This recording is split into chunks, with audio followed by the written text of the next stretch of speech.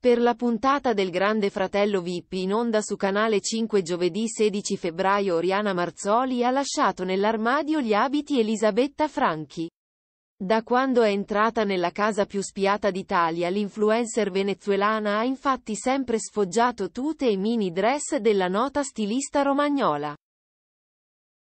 Una tra le creative più amate in Italia e all'estero. Per una sera, però, la GFina ha deciso di puntare su un marchio più alla portata di tutti.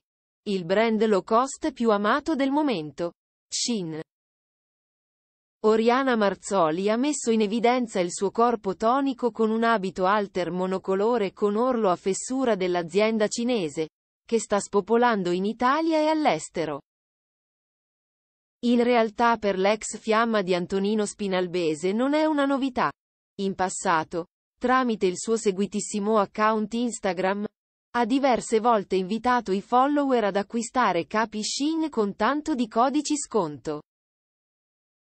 Oriana Marzoli ha completato il look con una camicia bianca, una cinta in vita e dei sandali neri. Il prezzo del vestito Shin? 8 euro. Proprio così.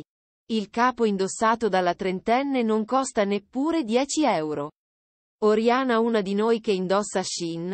Ha scritto qualcuno su Instagram facendo i complimenti alla Marzoli.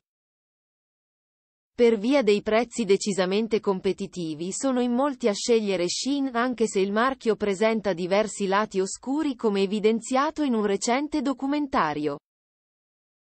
Secondo un'inchiesta condotta da Channel 4, rete televisiva britannica, i lavoratori di Shin riceverebbero 4 centesimi a capo, ne producono almeno 500 al giorno, e la giornata lavorativa durerebbe 18 ore. Inoltre avrebbero un solo giorno libero al mese e durante la giornata non sarebbe prevista nessuna pausa, tanto che le impiegate sarebbero costrette a lavarsi i capelli durante la pausa pranzo.